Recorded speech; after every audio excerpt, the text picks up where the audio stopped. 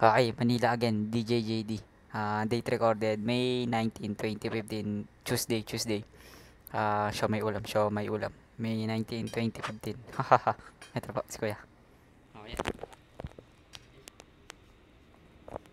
Ay, ako na. Okay.